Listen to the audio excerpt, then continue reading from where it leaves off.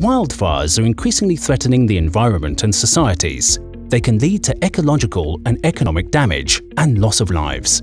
Due to climate and land use changes, their extent and severity are increasing, posing great challenges in Europe and worldwide. The risk of a wildfire occurring depends on weather and fuel availability, human drivers like accidents and arson, but also on socio-economic aspects, such as land use and fire management strategies. To enable effective wildfire management, an integrated approach is necessary. Before a fire, improving fire risk assessment facilitates reducing negative fire impacts. Fire suppression must be carried out considering its full environmental and societal effect, recovery actions should produce more fire-resilient landscapes and communities. The European project FirEUrisk addresses these needs by fully integrating physical, socio-economic and political contexts into existing protocols. Its aim is to deliver a coordinated and science-based strategy for European wildfire management. It brings together 38 partners from all fire-related sectors, from researchers to first responders and authorities.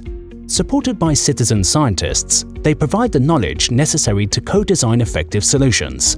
To assess wildfire risk, it will use innovative methods for estimating and communicating fire danger and vulnerability.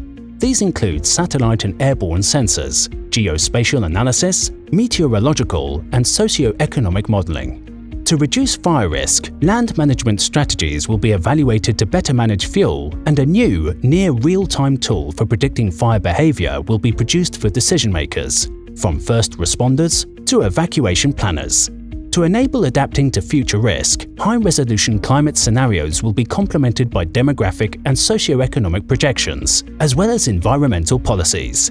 The resulting strategies will be implemented as pilot sites and demonstration areas across Europe, and all findings showcased via open access, providing valuable knowledge and tools for every stakeholder.